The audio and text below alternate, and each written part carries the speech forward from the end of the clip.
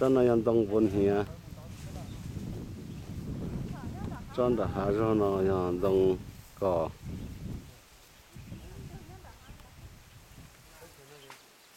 cho đã nó giờ quân chùa nó cho nhau lo lông hồ rồi sao tận nó nhà quân chùa cho nó quân chùa